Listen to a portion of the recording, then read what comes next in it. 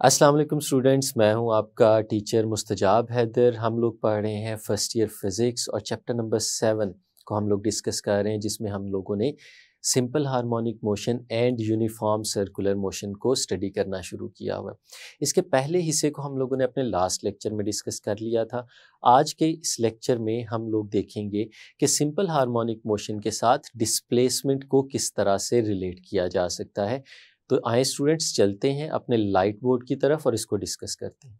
तो स्टूडेंट्स हम लोग पढ़ रहे हैं simple harmonic motion and uniform circular motion जैसे कि हम लोग इस चीज़ को डिस्कस कर चुके हैं कि ये दोनों एक दूसरे के साथ रिलेटेड हैं और इनके रिलेशन से जो हम बेसिक एडवांटेज हासिल करते हैं वो ये है कि हम डिस्प्लेसमेंट वेलोसिटी और एक्सेलरेशन को बहुत आसानी से और बहुत एफिशिएंटली कैलकुलेट कर सकते हैं। तो इसी कड़ी में हम लोग आगे चलते हैं और सबसे पहले देखते हैं कि डिस्प्लेसमेंट को हम लोग यहाँ पे किस तरह से रिलेट करके उसका एक एक्सप्रेशन डेवलप कर सकते हैं। तो सबसे पहले स्टूडेंट्स हमें पता होना चाहिए कि डिस्प्लेसमेंट कहते किसको हैं। हमें पता है, पहले हमने सीखा था यहाँ पे उसकी डेफिनेशन दोबारा लिखते हैं। हमने कहा था कि जब भी कोई बॉडी ऑसिलेट कर रही होती है तो ऑसिलेटिंग बॉडी का मेन पोजिशन से किसी भी इंस्टेंट ऑफ़ टाइम के ऊपर जो डिस्टेंस होता है, हम उसे डिस्प्लेसमेंट का नाम देते हैं। The distance of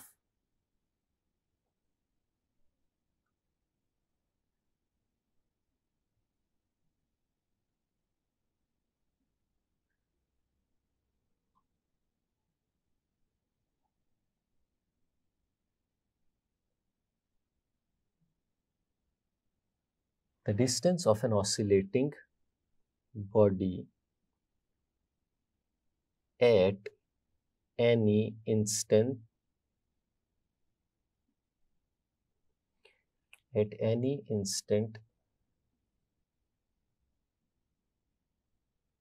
from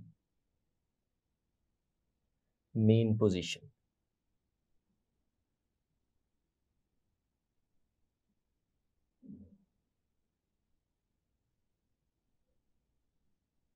position is called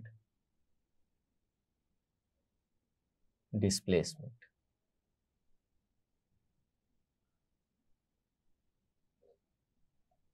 तो स्टूडेंट्स ये है हमारे पास डिस्प्लेसमेंट की डेफिनेशन जब भी कोई बॉडी ऑसिलेट कर रही होती है तो उस ऑसिलेटिंग बॉडी का किसी भी टाइम इंटरवल के ऊपर जो मेन पोजीशन से डिस्टेंस होता है, हम उसे इंस्टेंटेनियस डिस्प्लेसमेंट या डिस्प्लेसमेंट का नाम दे देते हैं। अब ये जो एग्जांपल हम लोगों ने अपने प्रीवियस लेक्चर्स में डिस्कस की थी, हम उसे ही यहाँ पे कंटिन्यू करते हैं कि लेट सपोज़ हमारे पास एक vertically suspended mass spring system है, जिसमें हम देखते हैं कि एक स्प्रिंग के साथ हमने एक मैस यहाँ पे सस्पेंड किया हुआ है। अगर इस मैस को हम स्मॉल एम के साथ रिप्रेजेंट कर दें तो हम देखते हैं कि इस वक्त ये अपने इक्विलिब्रियम या मीन पोजीशन पे मौजूद है। तो मीन पोजीशन या इक्विलिब्रियम पोजीशन पे होने का मतलब ये है कि ये इस वक्त रेस्ट की स्टेट में है, ये मूव नहीं कर रहा। और फिर अगर हम इसको डाउनवर्ड्स डायरेक्शन में पुश करते हैं पुल करते हैं और खींच के इसे पॉइंट सी पे ले जाते हैं। तो पॉइंट सी पे अगर हम इसे लेके जाके रिलीज़ करेंगे तो हमें पता है ये अपवर्ड डायरेक्शन में वापस मूव करेगा। ए पे आएगा ए से बी पे आएगा और फिर वापस ए पे और सी पे। हम लोग इसे डिटेल में डिस्कस कर चुके हैं कि इसकी वजह क्या है। इसकी वजह दो डिफरेंट चीज़ें हैं, जिसमें एक तो रिस्टोरिंग फोर्स थी, जो इसे मेन पोजीशन की तरफ़ लेके जाने की कोशिश करती है और दूसरा हमारे पास इस बॉडी का इनर्शिया था, जो उसकी मोशन को रिटेन करने में हेल्प करता है तो उस वजह से ये ऑसिलेट करता जा रहा है। अगर आप इसका कॉन्सेप्ट लेना चाहते हैं तो पिछले वाले लेक्चर्स में हम लोग इसे डिटेल में डिस्कस कर चुके हैं। तो जब ये ऑसिलेट करेगा इस तरह से तो इसकी ऑसिलेशन को हम लोग यहाँ पे रिप्रेजेंट कर रहे हैं, एक पॉइंट पी वन के साथ। ये पॉइंट पी वन जो है, ये हमारे इस ऑसिलेट करते हुए ऑब्जेक्ट की ऑसिलेशन को इस लाइन जो कि बी सी आपको एक लाइन नज़र आ रही है, ये इस लाइन बी सी पे इसको रिप्रेजेंट करता जा रहा है। यानी जैसे जैसे ये मैस स्प्रिंग सिस्टम ऊपर जाएगा या नीचे जाएगा वैसे वैसे हमारा ये जो पॉइंट पी वन है, ये भी ऊपर या नीचे की तरफ़ मूव करता रहेगा। और पॉइंट की जो मोशन होगी इस लाइन के अक्रॉस जो कि हमने बी सी कहा हुआ है, ये रिप्रेजेंट कर रही होगी हमारे ऑसिलेट करते हुए मैस की मोशन को भी। और फिर एक और चीज़ भी हम लोगों ने देखी थी। हमने देखा कि अगर हम एक सर्कुलर पाथ कंसीडर करें, वो सर्कुलर पाथ इस तरह से कंसीडर करें कि उस सर्कुलर पाथ की जो, का जो रेडियस है, वो हमारे ऑसिलेट करते हुए मैस स्प्रिंग सिस्टम के एम्पलीट्यूड के बराबर हो। यानी अगर हम इसमें देखते हैं तो हमारा ऑसिलेट करता हुआ जो ऑब्जेक्ट है, उसका जो एम्पलीट्यूड है, वो यहाँ से लेके यहाँ तक है। और इस एम्पलीट्यूड को अगर हम लोग एक्स नॉट के साथ रिप्रेजेंट करें तो हम लोग देखते हैं कि हमने एक ऐसा सर्कुलर पाथ यहाँ पे लिया है, जिस सर्कुलर पाथ का रेडियस भी एग्जैक्टली exactly इसी के बराबर है। और हम एक पॉइंट लेते हैं जो पॉइंट इस सर्कुलर पाथ पे मूव करता है और उसकी मूवमेंट में जो उसका टाइम पीरियड है, वो हम लोगों ने कंसीडर किया था कि एग्जैक्टली exactly इसके टाइम पीरियड के इक्वल है। यानी कि अगर हमारे पास कोई एक पॉइंट हो जो इस सर्कुलर पाथ में मूव कर रहा हो ओ वन से मूव करेगा डी पे और फिर मेन पोजीशन से ई e की तरफ़ और इस तरह से वो रोटेट करता रहेगा। तो उसकी रोटेशन का जो टाइम पीरियड होगा, वो एग्जैक्टली exactly मैच करेगा हमारे ऑसिलेट करते हुए इस मैच स्प्रिंग सिस्टम की ऑसिलेशन के साथ। तो फिर अगर हम वो एक पॉइंट यहाँ पे कंसीडर कर लेते हैं, जैसे कि मैं यहाँ पे एक पॉइंट आपके सामने ड्रॉ करता हूँ, मैं उस पॉइंट को नाम दे देता हूँ यहाँ पे पॉइंट पी का। और हम लोगों ने ये भी देखा था कि ये जो पॉइंट पी है, हम इसको समझने के लिए एक मैस समझ लेते हैं कि एक छोटे से साइज़ का मैस है जो यहाँ पे रोटेट कर रहा है। अगर मैं एक लाइन ड्रॉ करूँ जो बिल्कुल इस पॉइंट ओ से इस पॉइंट पी तक चली जाए तो क्या ये लाइन जो हमें यहाँ पे इस वक्त नज़र आ रही है, क्या ये इस सर्कुलर पाथ के रेडियस के बराबर है? तो इस रेडियस को तो हम लोगों ने एग्जैक्टली exactly उतना रखा हुआ है, जितना हमारा एम्पलीट्यूड था, यानी हम इस लाइन को कह सकते हैं कि ये बेसिकली हमारे पास एक्स नॉट के बराबर है। अब ये जो पॉइंट है, अगर हम इस पॉइंट को एक मैस कंसीडर कर लें, यानी इसका थोड़ा सा एक साइज़ कंसिडरेबल बना लें, ताकि हम इसके प्रोजेक्शन को देख सकें तो हमने देखा था कि ये जो हमारे पास डी और ई e एक लाइन नज़र आ रही है लाइन बेसिकली एक स्क्रीन है जिस स्क्रीन के ऊपर हम इस पॉइंट पी का प्रोजेक्शन बना सकते हैं। और प्रोजेक्शन बनाने के लिए हम लोगों ने क्या कंसीडर किया था कि लेट्स सपोज़ इस डायरेक्शन से हमारे पास कुछ रेज ऑफ़ लाइट है रोशनी है जो इसके ऊपर पड़ती है तो इस रोशनी के पड़ने की वजह से हम लोग देखते हैं कि एग्जैक्टली exactly, बिल्कुल इसके ऑपोजिट अगर हम देखें तो यहाँ पे इस पॉइंट पे इसका एक प्रोजेक्शन बन जाएगा। जिस प्रोजेक्शन को हम लोग इस केस में कैपिटल एन के साथ रिप्रेजेंट कर रहे थे, और हमने देखा था कि जैसे जैसे हमारा ये पॉइंट डी की डायरेक्शन में ट्रैवल करता चला जाता है वैसे वैसे हमारा ये प्रोजेक्शन एन भी अपवर्ड डी की डायरेक्शन में मूव करता चला जाता है। तो इस तरह से हम इसकी मूवमेंट को देख रहे थे। और अगर इसकी मूवमेंट को फर्दर आगे देखें, जब ये पॉइंट डी से आगे चला जाएगा तो फिर हम ये जो रेज ऑफ़ लाइट जिनको हमने इस वक्त यहाँ पे कंसीडर किया फिर हम इन्हें ऑपोजिट डायरेक्शन में कंसीडर करेंगे और जैसे जैसे पॉइंट आगे मूव करता जाएगा वैसे वैसे प्रोजेक्शन भी साथ साथ मूव करता जाएगा। और हम लोगों ने अपने प्रीवियस लेक्चर में ये चीज़ देखी थी कि हमारे पॉइंट पी की जो मूवमेंट है, वो मूवमेंट है सर्कुलर और उसका प्रोजेक्शन ये जो एन हमें नज़र आ रहा है, इसकी जो मूवमेंट है, ये डी और ई e के दरमियान में ऑसिलेट कर रही है और इसकी मूवमेंट एग्जैक्टली exactly उस तरह से है, जिस तरह से हमारे पास ये vertically suspended mass spring system की मूवमेंट है। इस वक्त अगर हम इसको कंसीडर करें तो हमें नज़र आ रहा है कि ये पॉइंट पी इस जगह पे मौजूद है और इसका प्रोजेक्शन यहाँ पे मौजूद है और स्टूडेंट्स आपको पता होना चाहिए कि अगर हम इसको प्रोजेक्ट करते हुए यहाँ तक ले आएँ तो इसका मतलब ये होगा कि हमारा ये जो मैस है वो भी मूव करते करते उसका जो पॉइंटर है वो भी इस वक्त इस जगह पे मौजूद होगा। तो हमने अभी देखा कि डिस्प्लेसमेंट क्या होती है? डिस्प्लेसमेंट तो होती है कि ऑसिलेटिंग ऑब्जेक्ट का मेन पोजीशन से कितना फासला है। तो अगर हम इस केस में बात करें कि अगर हमारा मैस भी मूव करते करते इस पॉइंट तक आ चुका है तो हमारा जो पॉइंटर है, ये भी इस पॉइंट तक आ चुका है। तो हम लोग क्या कह सकते हैं कि यहाँ से लेके यहाँ तक। ये जो आपको नज़र आ रहा है, ये इस वक्त इसका डिस्प्लेसमेंट होगा और इस डिस्प्लेसमेंट को हम लोग एक्स के साथ रिप्रेजेंट कर सकते हैं। और हमने देखा था कि जो डिस्प्लेसमेंट हमारा इस पॉइंट पी वन का है एग्जैक्टली exactly वही डिस्प्लेसमेंट हमारा इस पॉइंट एन का भी है। तो इसका मतलब है, ये जो ओ से लेके एन तक हमें नज़र आ रहा है, हम इसको भी इस वक्त डिस्प्लेसमेंट एक्स का नाम दे देते हैं। तो हम लोगों का पहला आज का टारगेट क्या है? वो टारगेट इसी एक्स की वैल्यू को फाइंड आउट करना है। हम इस डिस्प्लेसमेंट को देखना चाहते हैं कि जब हमारा ये projection up and down move कर रहा होगा तो ये डिस्प्लेसमेंट क्या होगा?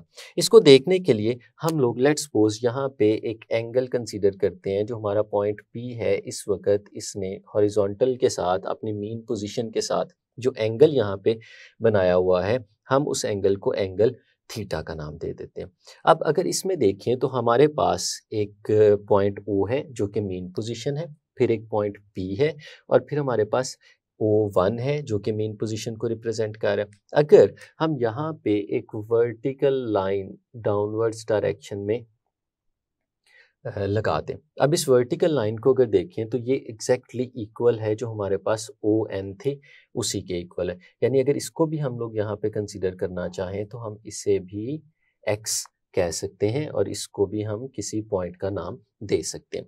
अब एक और चीज़ है यहाँ पे। हम इसको थोड़ा सा फिगर को, ये जो सामने आपके बनी हुई है, इसको अलग से करके सेपरेट करके आपको मैं बना के दिखाता हूँ। कौन सी वाली फिगर इसमें आपको एक ट्राइंगल नज़र आ रही होगी और वो ट्राइंगल है ओ पी और एन इन तीन चीज़ों के दरमियान में बनी हुई एक ट्राइंगल आपको नज़र आ रही है। वो ट्राइंगल मैं आपको यहाँ पे थोड़ा सा उसको एक्सपेंड करके, बड़ा करके बना के दिखाता हूँ। तो उसमें आप देखते हैं कि ये इस तरह से एक वर्टिकल लाइन है, जो कि ओ और एन इन दोनों के दरमियान में आपको नज़र आ रही है। फिर यहाँ पे एक हॉरिजॉन्टल लाइन है जो पॉइंट पी तक जाती है और फिर ये हमारे पास एक लाइन है जो कि इन तीनों को मिला रही है। तो हमारे पास ओ एन और पी ये एक ट्राइंगल इस जगह पे बनी हुई नज़र आ रही है। और इस ट्रायंगल में हम अगर देखते हैं तो एक लाइन को प्रोट्रूड करा के आगे की तरफ़ लेके जाए तो ये जो एंगल हमारे पास यहाँ पे बना हुआ नज़र आ रहा है, हमने इस एंगल को थीटा का नाम दिया हुआ है। अब एक आपको पुराने बात याद दिलाता हूँ मैथमेटिक्स में कि जब भी आपके पास कोई एक इस तरह की फिगर बनी हो जिसमें एक जेड शेप नुमाया हो रही हो, कुछ इस तरह से, कि आपके पास इस तरह से एक जेड शेप की फिगर बनी हो। हम इसको ऐसे भी कहते होते हैं कि अगर आपके पास दो पैरल लाइंस हों और फिर एक लाइन एक सर्टन एंगल पे उन पैरल लाइंस को क्रॉस कर रही हो। जैसे कि आपके पास एक ये वाली लाइन और एक ये वाली लाइन ये दो आपको पैरल लाइंस नज़र आ रही हैं। और फिर ये एक लाइन है जो इन दोनों पैरेलल लाइंस को कट करती हुई नज़र आ रही है। तो इस केस में अगर आप यहाँ पे कोई एक एंगल बनाते हैं, जैसे इस केस में मैंने उस एंगल को अल्फ़ा का नाम दे दिया तो यहाँ पे ये जो ऊपर वाले एंड पे आपको एंगल बनता हुआ नज़र आ रहा है, ये भी एग्जैक्टली वही एंगल होता है, यानी ये भी अल्फ़ा होता है। तो ये जो फिगर हमारी यहाँ पर नज़र आ रही है, इसमें अगर हम लोग देखें तो अगर ये एंगल हमें जो यहाँ पर नज़र आ रहा है, अगर ये एंगल थीटा है तो इसको अगर ऊपर वाले इस एग्ज़ाम्पल के साथ मैच करके देखा जाए तो हम लोग कह सकते हैं कि ये जो एंगल हमें यहाँ पे बनता हुआ नज़र आ रहा है, वो एग्ज़ाम एंगल भी एग्जैक्टली exactly वही होगा। हम इसको भी थीटा कह सकते हैं। यानी इस फिगर में हमारे पास अगर इस एंगल को हम थीटा का नाम देंगे तो ऊपर जो हम एंगल बनाएँगे, हम उसको भी थीटा का नाम दे सकते हैं। और इसमें कुछ चीज़ें हमें पता है। जैसे ओ से लेके पी तक हम लोगों ने देखा कि ये तो एक्स नॉट के बराबर है क्योंकि सर्कल का रेडियस था। इसी तरह ओ से लेके एन तक, ये जो है हमारे पास, ये हमारे पास एक्स के बराबर है, ये वो डिस्प्लेसमेंट है, जिस डिस्प्लेसमेंट को हम लोग यहाँ पे कैलकुलेट करना चाह रहे हैं। अब इस ट्राइंगल को अगर सामने रखें तो हमें कुछ चीज़ों का पता होना चाहिए। पहली चीज़ तो ये है कि अगर हम इस एक्स की वैल्यू फाइंड आउट करना चाहें, हम ये देखना चाहें कि हमारा ये डिस्प्लेसमेंट यहाँ पे एक्स क्या होगा तो हम लोग किस तरह से फाइंड आउट कर सकते हैं? हम लोग जानते हैं कि हमने एक ऐसी ट्रिग्नोमेट्रिक रेशो यूज़ करनी होती है, जिसमें हमें एक नाउन और एक अननाउन साइड को यूज़ करना पड़े, ताकि हम नाउन साइड को यूज़ करते हुए अननाउन को फाइंड आउट कर लें। वही काम हम यहाँ पे करेंगे। अगर ये एंगल आपको थीटा नज़र आ रहा है तो हम लोगों को पता है कि थीटा के बिल्कुल एग्जैक्टली exactly सामने वाली जो साइड होती है, वो हमेशा परपेंडिकुलर कंसीडर होती है। ये, यानी इस ट्रायंगल के केस में हमारे पास जो ओ एन हमें लिखी साइड नज़र आ रही है, ये ओ एन जो है, ये परपेंडिकुलर है। और फिर ये जो ओ पी साइड हमें लिखी हुई नज़र आ रही है यह हाइपोटेन्यूज है। तो इसका मतलब ये हुआ कि हमारे पास एक ऐसी ट्राइंगल है, जिस ट्राइंगल में हमें परपेंडिकुलर का पता है और हमें हाइपोटेन्यूज का पता है ये दो चीज़ें हैं जो रेलिवेंट है हमारे केस में। परपेंडिकुलर तो हम लोगों को फाइंड आउट करना है और हाइपोटेन्यूस जो है, उसकी वैल्यू हमें पता है। तो हम लोग एक ऐसी ट्रिग्नोमेट्रिक रेशियो को यहाँ पे इस्तेमाल करेंगे, जिस ट्रिग्नोमेट्रिक रेशियो में ये दोनों चीज़ें यूज़ हो रही हूँ। तो हमें पता है ऐसी ट्रिग्नोमेट्रिक रेशियो होती है साइन ऑफ़ एंगल थीटा तो हम कहेंगे from this triangle from triangle कौन से वाली है? ओ पी एंड एन ये जो ओ पी एंड एन हमें यहाँ पे ट्राइंगल नज़र आ रही है, इस ट्राइंगल में हम लोग कह सकते हैं कि हमारा साइन ऑफ़ एंगल थीटा ये किसके बराबर होता है? ये बराबर होता है परपेंडिकुलर डिवाइडेड बाय हाइपोटेनस हमने परपेंडिकुलर को हाइपोटेन्यूज के साथ जब डिवाइड करते हैं तो साइन थीटा फाइंड आउट कर सकते हैं। तो अगर हम ये वैल्यूज़ यहाँ पे सब्सटीट्यूट करें तो हमारे पास जो साइन ऑफ़ एंगल थीटा यहाँ पे आएगा। परपेंडिकुलर है हमारे पास ओ एन और हाइपोटेन्यूस जो है हमारे पास वो है ओ और P और फिर आगे चलें तो हम लोग इनकी वैल्यूज़ भी यहाँ पे सब्सटीट्यूट कर सकते हैं कि साइन ऑफ़ एंगल थीटा ये जो ओ एन हमें नज़र आ रहा है, ये एक्स के बराबर है। हम इसकी जगह एक्स लगा देते हैं। और फिर जो ओ पी हमें नज़र आ रहा है, ये हमारे पास एक्स नॉट है, हम इसकी जगह एक्स नॉट प्लॉट कर देते हैं। तो फिर ये जो एक्स नॉट यहाँ पे डिवाइड हो रहा है, अगर हम इसे उठा के इक्वेशन के दूसरी तरफ़ ले जाएँ तो हमारे पास x is equal to x naught sine of angle theta इस तरह की एक इक्वेशन बन जाती है।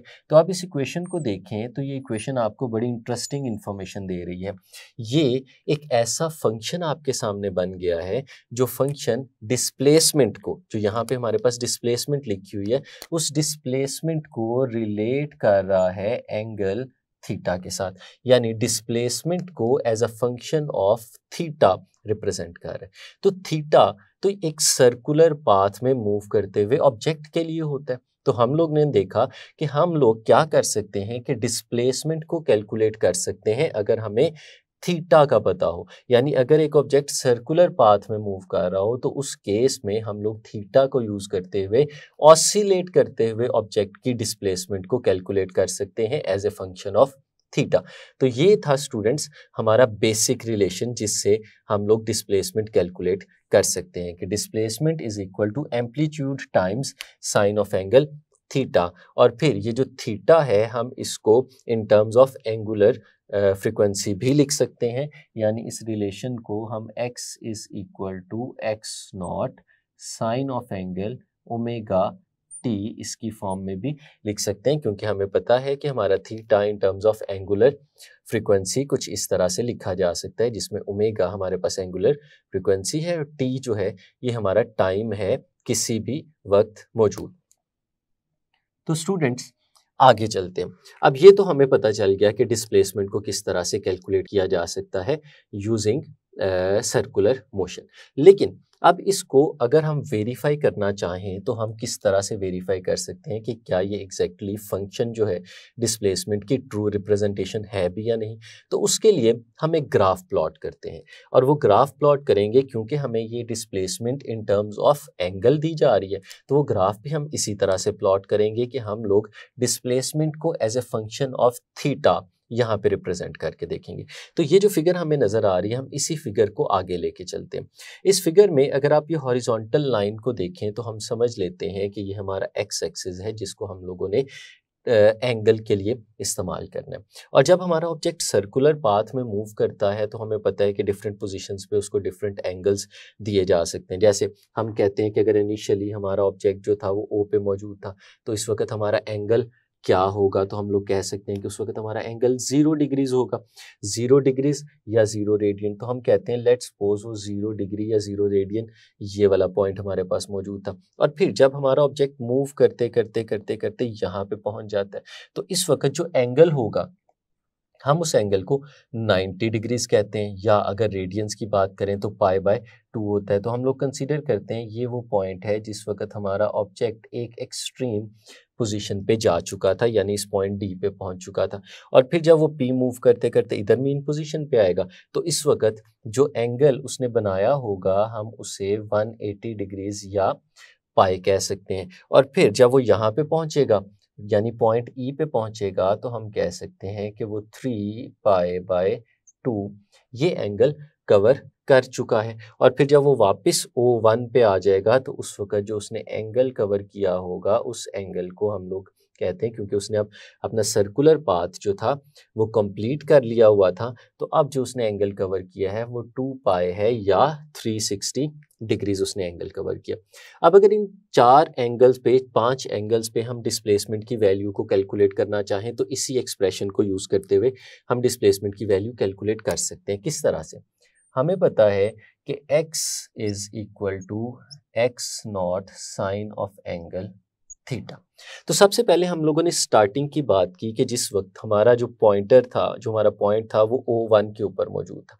उस वक्त एंगल जो वो बना रहा था, वो ज़ीरो डिग्रीज था। तो अगर हम वो एंगल यहाँ पे सब्सटीट्यूट करें तो हमारे पास x is equal to x naught sine of angle zero degrees आ जाता है। और हमें पता है कि साइन ज़ीरो पे तो ज़ीरो होता है तो एक्स नॉट इंटू ज़ीरो तो हमारे पास जो डिस्प्लेसमेंट इस केस में आ जाएगा, वो डिस्प्लेसमेंट हो जाएगा ज़ीरो और हम लोगों को नज़र भी आ रहा है कि हमारा पॉइंट मेन पोजीशन पे मौजूद था, हमारा पॉइंटर पी वन भी मेन पोजीशन पे मौजूद था डिस्प्लेसमेंट ज़ीरो था। तो इसका मतलब हुआ जब एंगल ज़ीरो है तो हमें नज़र आ रहा है कि वो डिस्प्लेसमेंट भी ज़ीरो है। अगर आगे चलते हैं और हम बात करते हैं जब हमारा ऑब्जेक्ट जो हमारा पॉइंटर पॉइंट है, वो डी पे पहुँच गया हुआ है। और हमारा जो यहाँ पे पॉइंटर है, वो बी के ऊपर पहुँच गया हुआ है। तो इस वक्त अगर हम बात करें तो हमारा जो थीटा है, वो थीटा पाए बाय टू या 90 डिग्रीज के बराबर होगा। तो इस पॉइंट पे अगर हम ये डिस्प्लेसमेंट कैलकुलेट करना चाहें तो हम लोग कहते हैं कि x is equal to x naught sine of angle pi by two या 90 डिग्रीज। और हम लोग जानते हैं कि साइन पाई बाय टू या 90 डिग्रीज पे मैक्सिमम वैल्यू देता है, यहाँ पे इसकी वैल्यू वन होती है। तो हम उस वैल्यू को अगर यहाँ पे सब्सटीट्यूट करते हैं तो एक्स नॉट इंटू वन तो हमारे पास आ जाता है एक्स नॉट। यानी हमें पता क्या चला कि इस वक्त हमारा जो डिस्प्लेसमेंट है, वो एक्स नॉट के बराबर है और एक्स नॉट एम्पलीट्यूड होता है, मैक्सिमम डिस्प्लेसमेंट होता है। यानी अगर मैं इसको यहाँ पे प्लॉट करने की बात करूँ तो इस वक्त ये जो बताया जा रहा है, इस वक्त हमारा डिस्प्लेसमेंट जो है वो एम्पलीट्यूड के बराबर होगा क्योंकि ये जो हॉरिजॉन्टल लाइन आपको डॉटेड फॉर्म में नज़र आ रही है, ये हमारे एम्पलीट्यूड को रिप्रेजेंट कर रही है। तो हम इस जगह पे मौजूद हैं। इसी तरह से अगर हम आगे चलें और अपने थर्ड एंगल की बात करें, यानी हमारा ये जो पॉइंट पी है, ये मूव करते हुए इस मीन पोजीशन पे आ गया। तो इस वक्त हम लोग कह सकते हैं कि हमारा जो एंगल थीटा है, इस केस में, वो एंगल थीटा पाए या 180 डिग्रीज के बराबर हो चुके तो 180 डिग्रीज का मतलब अगर हम डिस्प्लेसमेंट यहाँ पे निकालेंगे तो x is equal to x naught sine of angle pi और साइन पाई पे एक दफ़ा फिर ज़ीरो होता है। तो हम अगर इसकी वैल्यू को सब्सटीट्यूट करते हैं तो x is equal to x naught zero और हमारे पास आंसर ज़ीरो आ जाता है। तो हम लोग कह सकते हैं कि इस केस में हम यहाँ पे मौजूद है। तो ये तीन पॉइंट्स हम लोगों ने इस वक्त कैलकुलेट कर लिए। अगर इन तीनों पॉइंट्स को हम लोग इसी पे प्लॉट करते हैं, मिला के देखते हैं तो स्टूडेंट्स आप देखेंगे कि कुछ इस तरह से हमारे पास ये ग्राफ बन जाता है। यानी हम देखते हैं कि हमारे पास एक सेमी सर्कल टाइप जो ग्राफ है वो बनता हुआ नज़र आ रहा है। और फिर अगर आगे चलें, और हम थ्री पाई बाय टू पे भी देखें, यानी हमारा ये जो पॉइंट है, ये मूव करते करते ई e पे जा चुका है। जब ये ई e पे जा चुका होगा, और उस वक़्त हम इस पॉइंट को देखेंगे तो हम कुछ इस तरह से कर सकते हैं कि थीटा इस केस में हमारे पास थ्री पाई बाय टू के बराबर आ गया, और फिर x is equal to x naught sine three pi by two और three pi by two two seventy degrees के इक्वल होता है। और साइन की जब इस पे वैल्यू आप, हम फाइंड आउट करेंगे तो वो माइनस वन के बराबर आएगी। तो x is equal to x naught into minus one तो x जो है वो नेगेटिव ऑफ़ x नॉट के बराबर आ जाएगा। तो स्टूडेंट्स हम लोग इसको देख सकते हैं कि माइनस के बराबर अगर हम इसे लिखेंगे तो फिर ये वैल्यू हमारे पास प्लॉट होते हुए डिफरेंट डायरेक्शन में मैक्सिमम डिस्प्लेसमेंट को रिप्रेजेंट कर रही होगी। और फिर टू पाई आप बिल्कुल इसी तरह से उसे भी कैलकुलेट कर सकते हैं। Two pi three sixty degrees और आप जब वैल्यू सब्सटीट्यूट करेंगे तो दोबारा से आपके पास आंसर ज़ीरो आ जाएगा। तो फिर अगर आप इन आखिरी पॉइंट्स को भी प्लॉट करते हैं तो आपके पास ये कुछ इस फॉर्म में ग्राफ बनता हुआ नज़र आएगा। तो स्टूडेंट्स ये देखें तो हमें नज़र आ रहा है, ये तो साइन कर्व है, बिल्कुल उसी तरह की, जिस तरह की कर्व हम लोगों ने पहले बना के देखी थी। हम जब रिलेशन पढ़ रहे थे, जब हम डिफरेंट टर्म्स को डिस्कस कर रहे थे कि आपका कोई भी ऑब्जेक्ट जब सिंपल हारमोनिक मोशन से ऑसिलेट कर रहा होता है तो उसकी ऑसिलेशन को अगर किसी कर्व के साथ रिप्रेजेंट किया जाए तो वो कर्व एक साइन कर्व होती है, जैसे आपके सामने यहाँ पे लिखी हुई बनी हुई नज़र आ रही है। तो ये जो साइन कर्व है, ये बेसिकली रिप्रेजेंटेशन हुआ करती है एक सिंपल हार्मोनिक मोशन एग्जीक्यूट करते हुए एक ऑब्जेक्ट की। तो हम लोगों ने भी यहाँ पे ये देखा कि हम लोगों ने जब डिस्प्लेसमेंट की कर्व बनाई डिस्प्लेसमेंट को as a function of sine plot किया तो एग्जैक्टली exactly वही कर्व बन गई, जो कर्व हम पहले से देख चुके थे। तो ये भी इसी चीज़ के इंडोर्समेंट है। ये रिज़ल्ट भी इस चीज़ को इंडोर्स करता है कि हमारा ये जो प्रोजेक्शन एन था, ये प्रोजेक्शन एन पार्टिकल पी से जो बन रहा था, ये सिंपल हार्मोनिक मोशन एग्जीक्यूट कर रहा है और ये एग्जैक्ट रिप्रेजेंटेशन हो सकती है, ये रेप्लिका हो सकता है हमारे इस मैस का, जो कि स्प्रिंग के साथ वर्टिकली सस्पेंडेड ऑसिलेट कर रहा है। तो स्टूडेंट्स ये था हमारा simple harmonic motion and uniform circular motion में डिस्प्लेसमेंट वाला हिस्सा, जिसमें हमने देखा कि किस तरह से हम लोग यूनिफॉर्म सर्कुलर मोशन को सिंपल हार्मोनिक मोशन के साथ रिलेट करते हैं और डिस्प्लेसमेंट कैलकुलेट कर सकते हैं। तो स्टूडेंट्स नेक्स्ट लेक्चर में इंशाल्लाह हम इसके अगले हिस्से इंस्टेंटेनियस वेलोसिटी को डिस्कस करेंगे। तब तक के लिए अल्लाह हाफिज़।